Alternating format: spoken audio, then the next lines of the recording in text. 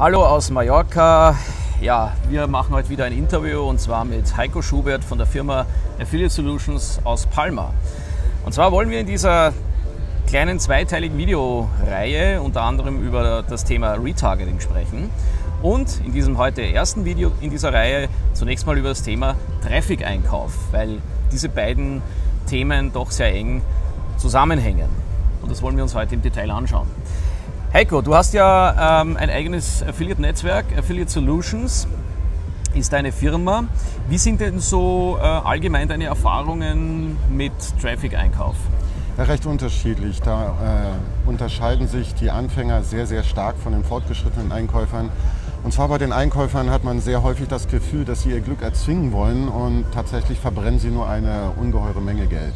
Ja, ja. Äh, warum sollte man speziell, wenn man jetzt neu ist im Online-Business, wenn man jetzt äh, eine Webseite aufsetzt, noch keine Ahnung hat von nichts, warum sollte man deiner Meinung nach überhaupt Traffic einkaufen? Weil es eine Alternative zum sehr langwierigen äh, SEO ist. SEO ist nach wie vor die, könnte man sagen, preiswerteste Alternative an Traffic zu kommen. Warum könnte man denken? Weil die Arbeit, die dahinter steckt, ist auch nicht ohne und die Arbeitszeit muss ja auch irgendwie vergütet werden. Also so viel günstiger ist SEO auch nicht wirklich. Ja? ja. Und über den Traffic-Einkauf kann man, so die entsprechende Webseite vorausgesetzt, natürlich relativ schnell die erhofften Userströme haben, die man für sein Marketing benötigt. Ja, das ist natürlich der Vorteil davon. Also es hat sowohl Vor- als auch Nachteile, Richtig, ja. wenn wir diese beiden äh, Möglichkeiten äh, hernehmen. Und speziell bei SEO dauert es natürlich äh, entsprechend lang, bis ja. man einen guten Traffic dann bekommt. Ja. Hast du selbst bevorzugte Partner, wo du deinen Traffic einkaufst? Ja, das sind sehr unterschiedliche. Ähm, das hängt natürlich davon ab, um welche Produkte bzw. um welche Nischen es sich handelt. Handelt es sich um klassische Mainstream-Produkte, da sind halt die Kanäle wie Facebook, Twitter, mhm. was von sehr vielen unterschätzt wird, natürlich Google und ähm, mein besonders Leckerli derzeit YouTube sehr gefragt. Ja. Mhm. Äh, ansonsten in den Adult-Produkten, da gibt es dann halt diverse Broker, die wird, das würde jetzt zu weit führen, die hier alle aufzuführen. Da hängt es auch aber immer sehr, sehr stark davon ab, was sie liefern. Da gibt es sogenannte Run-over-Network-Kampagnen. Das heißt, man weiß nicht genau, woher der Traffic herkommt. Ja. Von denen halte ich absolut nichts. Mhm. Ja. Und dann gibt es halt äh, Möglichkeiten, wo ich von Seiten gezielt Traffic einkaufen kann. Und das handelt sich äh, meistens um sehr spezielle Deals. Also bei mir im Großen und Ganzen kaufe ich dann Flat Deals ein. Das heißt, ich gehe zu einem bestimmten Seiteninhaber, äh, buche einen bestimmten äh, Slot für den Rest des Monats und bekomme alles, was dazu gehört. Also egal aus welchem Land und so weiter. Muss mich dann natürlich da auch darum kümmern, dass die Länder, die zum Produkt A nicht passen, ja, mhm. dann auf ein anderes Produkt B geroutet werden. Ja. Also ich habe ja letztes Jahr schon mal ein, ein Interview gemacht mit einem Namensvetter für die mit Heiko Mehlert von der Firma Solids Media mhm. und äh, da ging es also speziell um äh, den Einkauf von äh, Dating Traffic. Ja. Und da war unter anderem auch die Frage, ähm, welche Risiken es äh, grundsätzlich gibt beim, beim Traffic-Einkauf. Da ging es speziell um das Thema Dating. Wo siehst du Risiken für Leute, die neu sind in der Branche? Auf was müssen sie speziell achten, wenn sie Traffic einkaufen? Ist im Prinzip genau dasselbe Problem wie beim SEO äh, wenn die Erwartungshaltung des Users nicht bedient wird. Sprich, wenn ich irgendeinen Traffic einkaufe und ihn auf ein Produkt schicke, was gar nicht zu dem User passt. Greifen wir doch mal das Thema Dating auf. Äh, dort ist es so, der User möchte jemanden kennenlernen und äh, könnte man zumindest denken. Das heißt, der Traffic, den ich einkaufe, muss dann auch von solchen Seiten kommen, wo sich genau die User rumtreiben, die genau das suchen. Und genau das stelle ich äh, bei vielen Traffic-Buden in Frage. Ob da wirklich das Targeting so stimmt, dass die Traffic Source dann wirklich genau aus dem Bereich Dating kommt. Und das ist bei mir der Grund, warum ich von diesen Run-Over-Network-Kampagnen absolut nichts halte, sondern ganz gezielt auf Seiten gehe, weil die kann ich dann selber durch meine SEO-Tools jagen, um zu sehen, unter welchen Keys ranken sie. Und wenn da nichts Dating-Lastiges dabei ist, dann würde ich den Teufel tun, um dort Traffic einzukaufen, um ihn auf Dating-Offers zu schicken. Ja, ist klar. Mhm. Ähm, wie stehst du generell äh, zu Facebook-Ads? Das ist eine sehr, sehr spannende Sache. Äh, nicht überall anwendbar, gar keine Frage, aber es gibt genug Bereiche, wo es ähm, sehr schön ist, gerade dann, wenn man den, Treffer, äh, den Traffic noch tiefer analysieren will. Da ist es sehr, sehr sexy. Ja, ja also ich beschäftige mich jetzt auch seit circa einem gut, guten halben Jahr jetzt auch mit, mit, mit Facebook-Ads und mit Kampagnenerstellung. Und das ist natürlich auch ein sehr komplexes Thema. Ja und hat eben sehr stark auch mit, mit äh, Retargeting zu tun. Also zu diesem Punkt werden wir noch kommen. Und ähm, was würdest du denn sagen äh, bei der Erstellung von Kampagnen? Was sind denn so die, die drei größten Fehler, die man machen kann, wenn man so eine Kampagne erstellen will auf, auf Facebook? Ah, unterschiedlich. Fangen wir mit der ersten und größten Fehlerquote an, die würde ich mal sagen 99 Prozent aller Leute betrifft. Und zwar äh, die Zielgruppe wird falsch eingeschätzt. Ja? Äh, das ist nämlich meiner Meinung nach der meiste Grund, warum äh, bestimmte Kampagnen nicht funktionieren, ähm, wenn die Leute, die Streuverluste einfach zu groß sind. Ja? Das heißt, von 100 Prozent der Leute, die meine Werbung sehen, interessieren sich wenn ich mir so einiges angucke, vielleicht 10, 20 Prozent wirklich dazu. Woran liegt das? Es fängt damit an, was die Leute gehen hin und sagen, ja, User kommt aus Deutschland, ist männlich von bis alt, ja, hat vielleicht noch folgende Hobbys und so weiter. Man muss sich das überlegen, ja, das bekommt dann jeder diese Werbung angezeigt, ja, ob er sich dafür interessiert oder nicht. Und der Punkt ist wirklich, ob er sich interessiert dafür, ja. Ja, und jetzt kann man natürlich vorstellen fragen, ja, woher soll ich wissen, ob er sich dafür interessiert? Dazu kommen wir dann später noch zurück. Das ist sehr wohl möglich. Sache Nummer zwei, natürlich die falsche Call to Action oder die falsche Emotion, die geweckt wird bei der Grafik. Ja? Ähm, weil dort kann man sehr, sehr viel machen äh, oder sehr viel erreichen, wenn man die richtige Grafik einsetzt. Ja. ja? Also da müssen die richtigen Emotionen geweckt werden und letztendlich natürlich die Call to Action, die oft fehlerhaft und wenn ich mir einige Werbung angucke, sogar falsch ist. Ja? ja. So, weil ähm, wenn ich etwas installieren will, ja, ja gut, und dann sage, klick hier für mehr, ja, das passt einfach nicht. Man muss einfach mal Facebook ein bisschen angucken, da findet man viele solche Kampagnen, ja. Aber das ist nicht nur bei Facebook so, das beobachtet man auf anderen ganz genauso. Ja, ja. ja.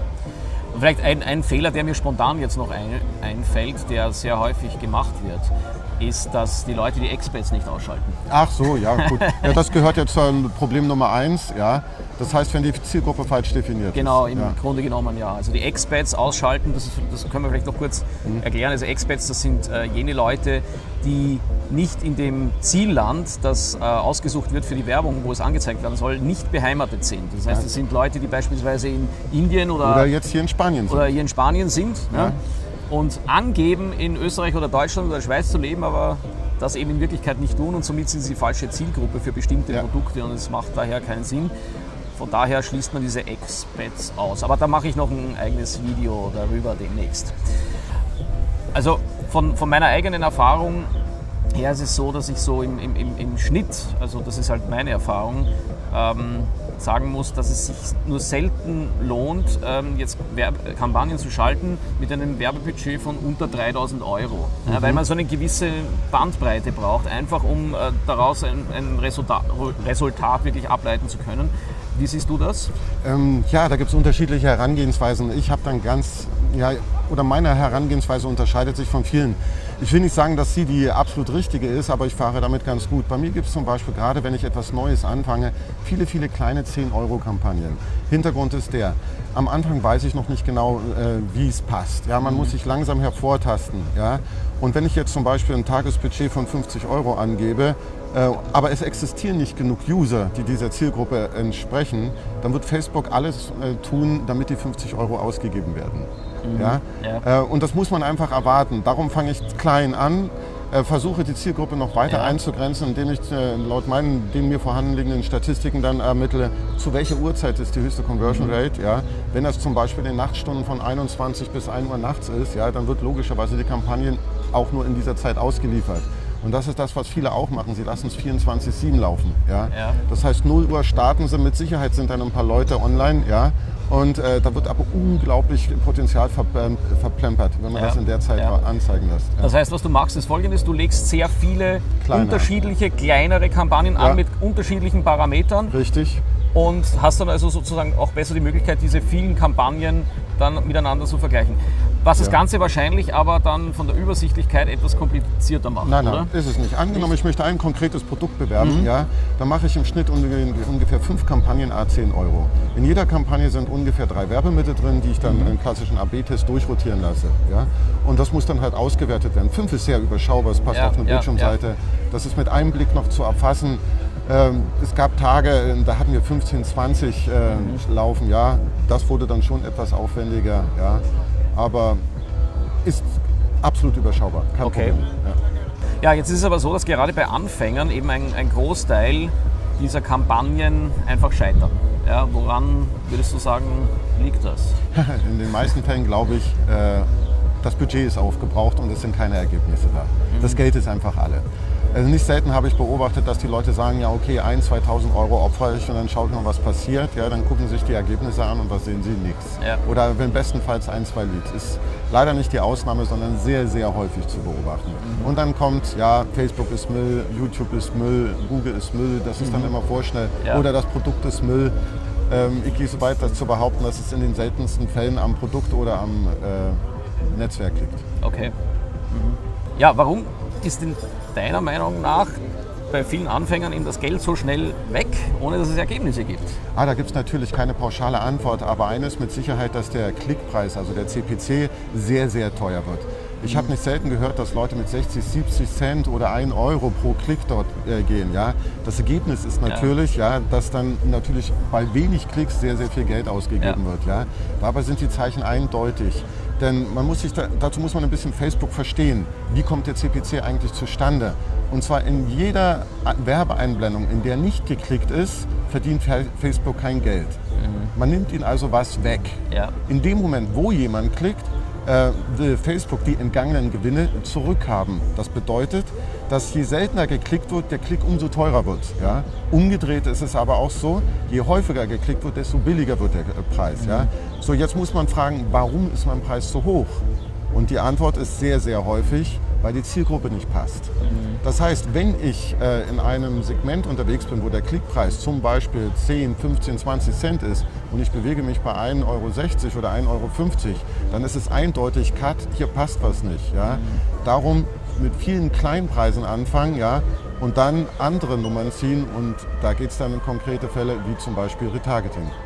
Okay, ja, und das ist eine gute Überleitung, würde ich sagen, zum nächsten Video, in dem wir uns dann eben beschäftigen, was Retargeting eigentlich ist und wie man seinen Traffic, den man eingekauft hat, dann eben durch Retargeting doch noch zu Geld macht. Das ist das Thema des nächsten Videos. Dranbleiben.